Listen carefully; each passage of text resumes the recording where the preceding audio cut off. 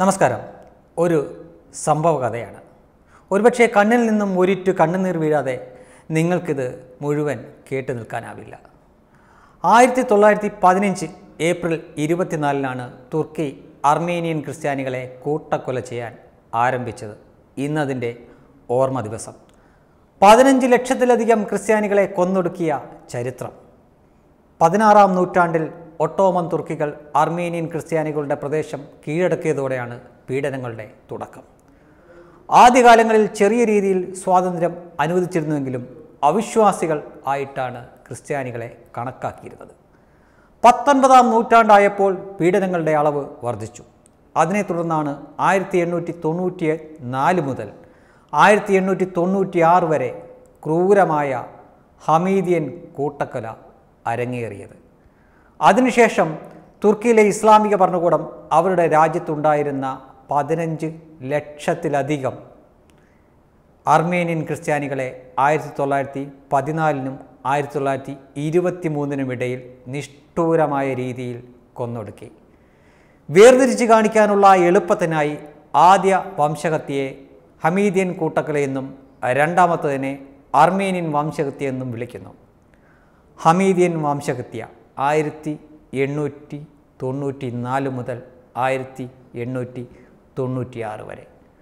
തുർക്കികളും കുർദുകളും ചേർന്ന് ഒട്ടോമൻ സാമ്രാജ്യത്തിലെ അർമേനിയൻ ക്രിസ്ത്യാനികൾക്കെതിരെ ആയിരത്തി എണ്ണൂറ്റി തൊണ്ണൂറ്റി നാലിനും ആയിരത്തി എണ്ണൂറ്റി തൊണ്ണൂറ്റി ആറിനും ഇടയ്ക്ക് നടത്തിയ വിവിധ കൂട്ടക്കൊലകളാണ് ഹമീദിയൻ കൂട്ടക്കൊല എന്നറിയപ്പെടുന്നത്. അന്നത്തെ ഒട്ടോമൻ സുൽത്താനായിരുന്ന അബ്ദുൽ ഹമീദ് രണ്ടാമന്റെ ഉത്തരവിൻ പ്രകാരമാണ് അത് നടന്നത് എന്നതിലാണ് ഹമീദിയൻ കൂട്ടക്കൊല എന്നതിന് പേര് വന്നത്. ജന്മനാട്ടിൽ അടിമകളെ പോലെ കഴിയേണ്ടി വന്ന അർമേനിയക്കാരുടെ ദേശീയബോധം ഉടലെടുത്ത പശ്ചാത്തലത്തിലായിരുന്നു ഈ ആക്രമണങ്ങൾ.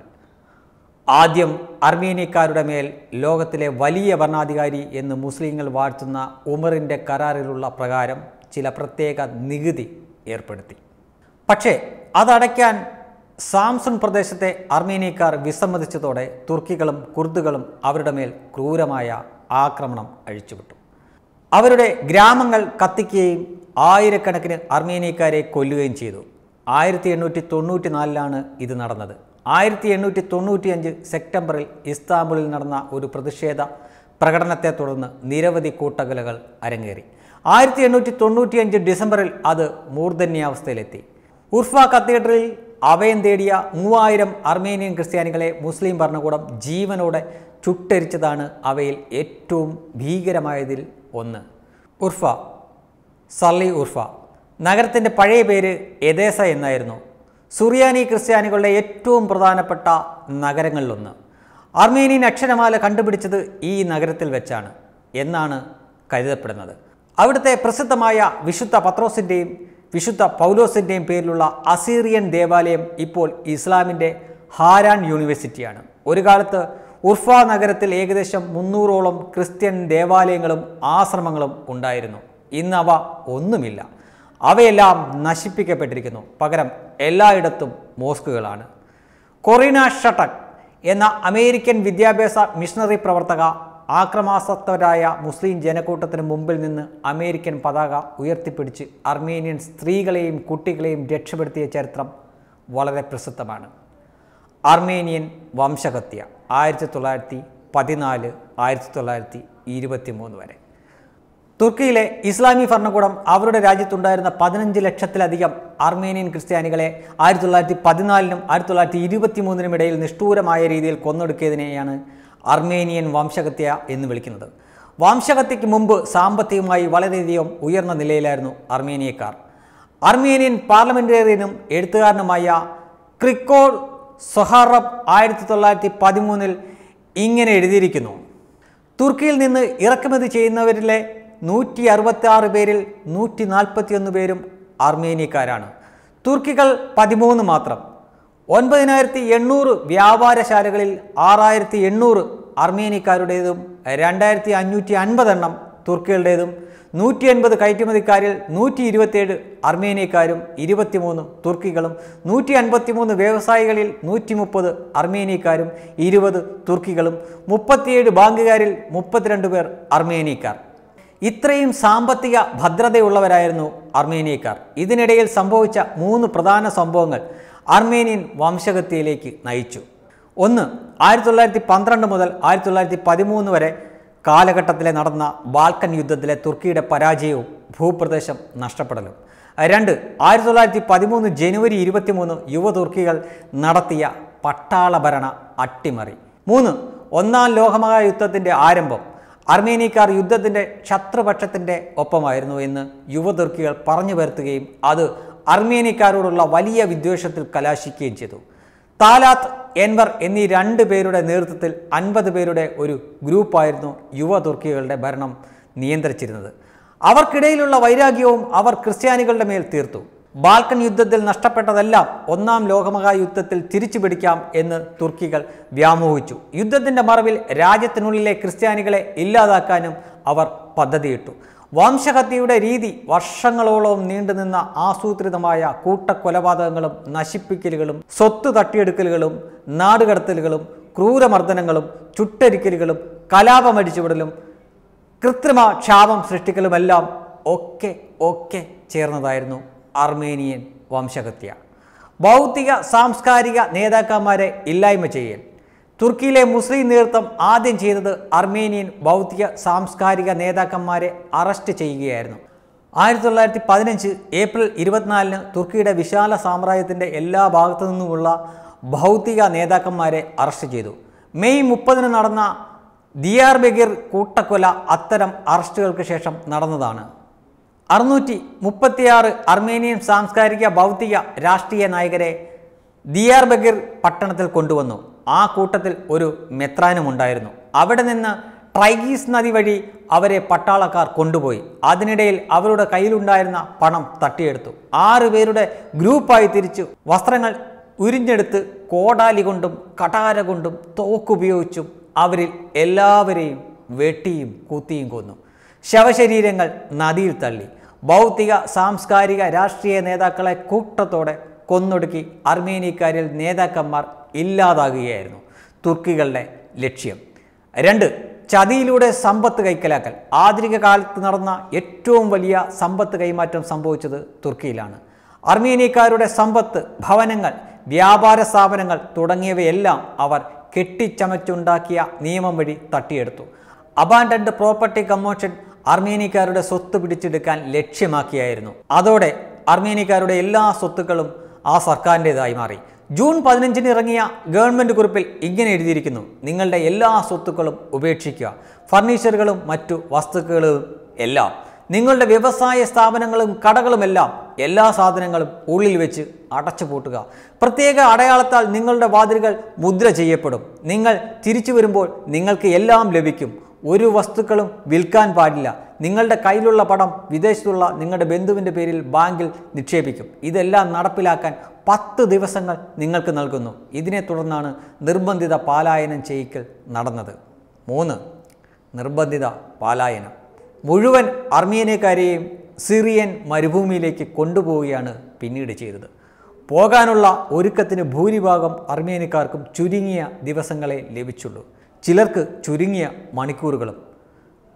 എർസൂരും എന്ന പട്ടണത്തിൽ നിന്നുള്ള ഒരു ദൃശ്യം ഇങ്ങനെയാണ്. നാൽപ്പതിനായിരം അർമേനിയക്കാരാണ് ഇവിടെ നിന്നും നിർബന്ധിത പാലായനത്തിന് വിധേയരാക്കപ്പെട്ടത്. എന്തിനു വേണ്ടിയാണ് തങ്ങളെ കൊണ്ടുപോകുന്നത് എന്ന് അറിയില്ലായിരുന്നു. അതിർത്തിയിലെത്തും മുമ്പേ പലരും തളർന്നു വീണു മരിച്ചു. ക്രമോ എന്ന പട്ടണത്തിലെത്തിയപ്പോൾ നിരവധി പേരെ വാലിനിരയാക്കി. യൂഫ്രട്ടീസ് നദിയിൽ തള്ളി. ദർ എൽസാർ പട്ടണത്തിലെത്തിയപ്പോൾ കേവലം ഇരുന്നൂറ് പേർ മാത്രമാണ് അവശേഷിച്ചിരുന്നത്.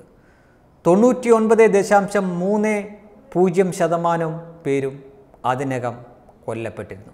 സിറിയൻ മരുഭൂമിയിൽ അർമേനിയക്കാരെ ഉപേക്ഷിക്കുവാനായിരുന്നു തുർക്കിയുടെ നീക്കം. അതിനായി ചുട്ടുപൊള്ളുന്ന വെയിലിൽ ആയിരത്തിലധികം കിലോമീറ്ററുകൾ അർമേനിയക്കാരെ നടത്തിച്ചും കുതിരപ്പുറത്ത് തുർക്കി പട്ടാളക്കാർ ഒപ്പമുണ്ടായിരുന്നു. യാത്രക്കിടയിൽ പെൺകുഞ്ഞുങ്ങളെ അടക്കം അവർ ലൈംഗിക പീഡനത്തിന് ഇരയാക്കി. പല സ്ത്രീകളും കുട്ടികളെയും കൊണ്ട് പാലങ്ങളിൽ നിന്നും ചാടി മരിച്ചു. മരുഭൂമിയുടെ നടുക്കെത്തിയപ്പോൾ പട്ടാളക്കാർ തിരിച്ചു പോന്നു. വിശപ്പും ദാഹവും സഹിക്കാനാവാതെ ചുട്ടുപൊള്ളുന്ന സിറിയൻ മരുഭൂമിയിൽ അർമേനിയൻ ക്രിസ്ത്യാനികൾ പിടഞ്ഞ് പിടഞ്ഞ് വീണു മരിച്ചു. നാല് അർമേനിയൻ വ്യക്തിത്വം നശിപ്പിക്കൽ. നിർബന്ധപൂർവമുള്ള അർമേനിയൻ വ്യക്തിത്വം നശിപ്പിക്കൽ നടപടി ഇതിനോടകം ചേർന്ന് നടന്നു. സ്ത്രീകളെയും കുട്ടികളെയും നിർബന്ധപൂർവം ഇസ്ലാം മതത്തിലേക്ക് പരിവർത്തനം ചെയ്ത് അവരിലൂടെ അർമേനിയൻ വ്യക്തിത്വം തുടരാതിരിക്കാൻ വേണ്ടിയായിരുന്നു പതിനായിരക്കണക്കിന് സ്ത്രീകളെയും കുട്ടികളെയും തട്ടിക്കൊണ്ടുപോയി മതപരിവർത്തനം നടത്തിച്ചിട്ടുണ്ട്. കൊനിയ ബെയ്റൂട്ട് എന്നീ പട്ടണങ്ങളിലെ വലിയ മുസ്ലിം അനാഥാലയങ്ങളിലേക്ക് അനേകായിരം അർമേനിയൻ കുട്ടികൾ മാറ്റപ്പെട്ടു. അവിടെ അവർ മുസ്ലിം കുട്ടികളായി വളർന്നു വന്നു അവർക്ക് തുർക്കിഷ് പേരുകൾ നൽകുകയും തുർക്കിഷ് ഭാഷ മാത്രം പഠിപ്പിക്കുകയും ചെയ്തു. അർമേനിയൻ പൊതുബോധം നശിപ്പിക്കുന്ന പ്രക്രിയയായിരുന്നു ഇത്. സ്ത്രീകളെ അടിമകളാക്കി. അവരിൽ നിന്ന് ജനിച്ച കുട്ടികൾ പിന്നീട് മുസ്ലിമുകളായി. അഞ്ച് സാംസ്കാരിക പൈതൃകം നശിപ്പിക്കൽ. അർമേനിയക്കാരുടേതായിരുന്ന സാംസ്കാരിക പൈതൃക നിർമ്മിതികൾ ഇല്ലാതാക്കുകയായിരുന്നു അടുത്ത പടി തുർക്കി മുസ്ലിങ്ങൾ അർമേനിയൻ ദേവാലയങ്ങൾ നശിപ്പിച്ചു. പുസ്തകങ്ങൾക്ക് തീയിട്ടു. കെട്ടിടങ്ങളിലെ അർമേനിയൻ ബോർഡുകൾ നീക്കം ചെയ്തു. അർമേനിയൻ മതത്തിന്റെയോ സംസ്കാരത്തിന്റെയോ ഒരു തരി പോലും അവശേഷിപ്പിക്കില്ല എന്നതായിരുന്നു അവരുടെ തീരുമാനം. അർമേനിയൻ ദേവാലയങ്ങളും ആശ്രമങ്ങളും വായനശാലകളുമൊക്കെ നശിപ്പിക്കപ്പെട്ടു. ആയിരത്തി തൊള്ളായിരത്തി പതിനാലിൽ അർമേനിയൻ സമൂഹത്തിന് രണ്ടായിരത്തി അറുന്നൂറ് പള്ളികളും നാനൂറ്റൻപത് ആശ്രമങ്ങളും രണ്ടായിരം സ്കൂളുകളും ഉണ്ടായിരുന്നു. വംശകത്തിയുടെ അവസാനമെത്തിയപ്പോഴേക്കും ഏകദേശം മൂവായിരം അർമേനിയൻ വാസസ്ഥലങ്ങൾ ഗ്രാമങ്ങൾ പട്ടണങ്ങൾ ഒരു അർമേനിയക്കാരൻ പോലും അവിടങ്ങളിൽ ഇല്ലാതായി. ഇന്ന് ഇസ്താംബൂളിൽ ഒഴിച്ച് തുർക്കിയിൽ മറ്റൊരിടത്തും അർമേനിയക്കാർ ഇല്ലാത്ത അവസ്ഥയായി. ഇപ്പോൾ അർമേനിയൻ സമൂഹത്തിന് തുർക്കിയിലെ മുപ്പത്തിയഞ്ച് പള്ളികൾ മാത്രമാണുള്ളത്. ഒരൊറ്റ സ്കൂളും ആശ്രമവും അവരുടെ പൂർണ സ്വാതന്ത്ര്യത്തിൽ ഇല്ല. ആറ് ദൃക്സാക്ഷിയുടെ വിവരണം. അർമേനിയൻ വംശഗതിക്ക് നേർസാക്ഷ്യം വഹിച്ച ഒട്ടനവധി വ്യക്തികളുണ്ട്. അവരിൽ പലരും അത് ഭാവി തലമുറയ്ക്കായി രേഖപ്പെടുത്തി വെക്കുകയും ചെയ്തു.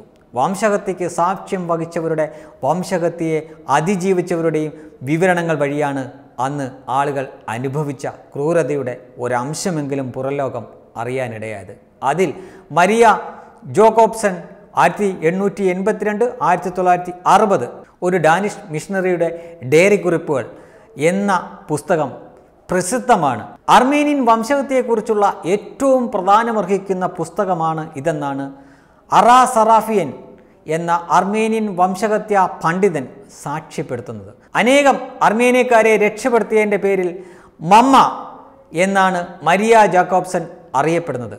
ആയിരത്തി തൊള്ളായിരത്തി പതിനഞ്ച് ജൂൺ ഇരുപത്തിയാറിന് അർമേനിയക്കാരുടെ നിർബന്ധിത പാലായനം ആരംഭിച്ചപ്പോൾ അവർ ഡയറിയിൽ എഴുതി. ഈ നിർബന്ധിത പാലായനത്തിന്റെ ലക്ഷ്യം അർമേനിയക്കാരെ ഉന്മൂലനം ചെയ്യുക എന്നതാണ്. ഭക്ഷണ സ്വാതന്ത്ര്യം പോലും നിഷേധിക്കപ്പെട്ട ഒരു ജനതയായിരുന്നു തുർക്കി അടിമത്തത്തിന്റെ കീഴിൽ അർമേനിയൻ ക്രൈസ്തവർ.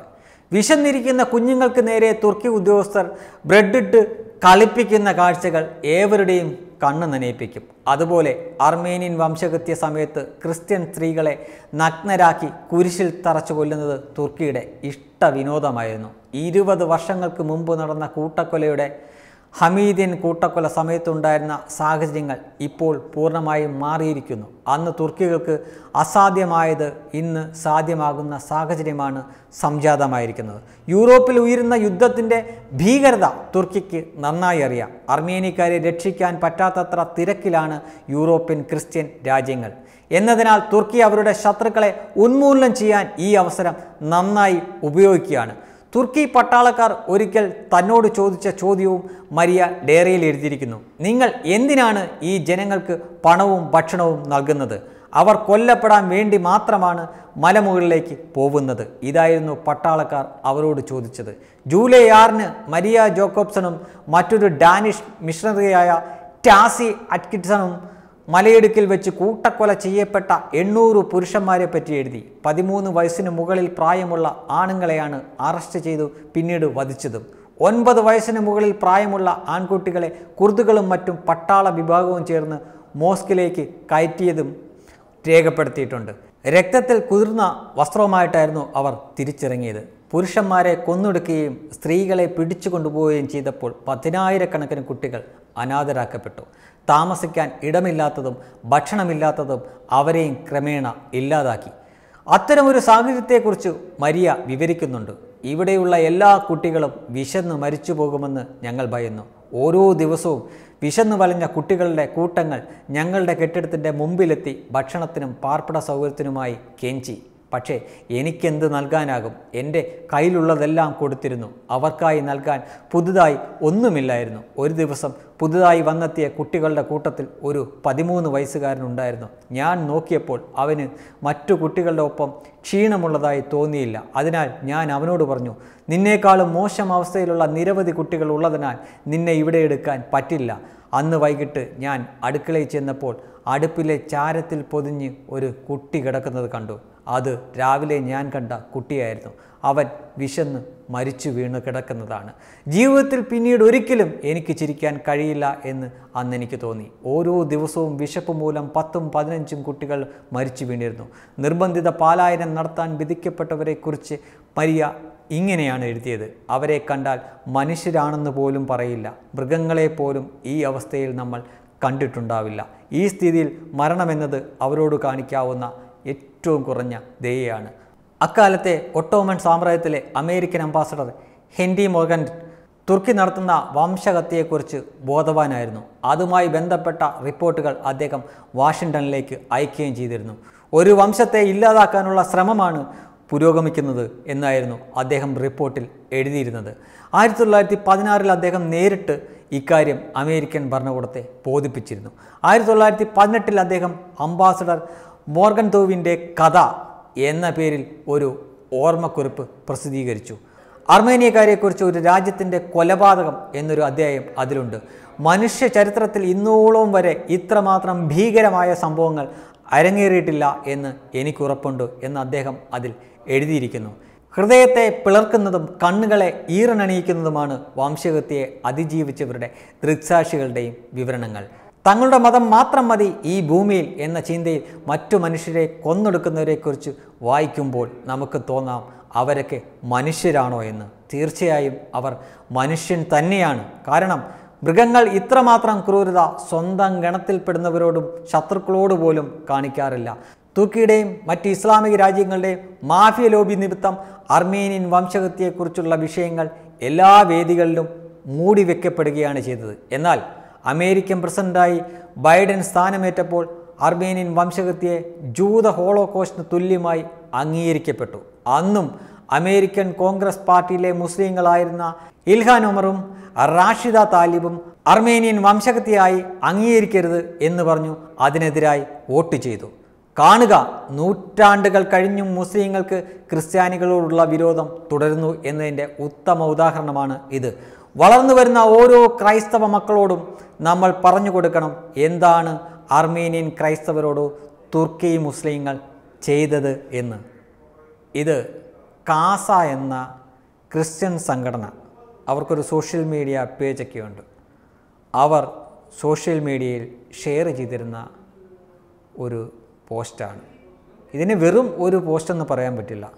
ഇത് അർമേനിയയിൽ നടന്ന വംശഹത്യയുടെ ഒരു നേർക്കാഴ്ച തന്നെയാണ്. Web desk news.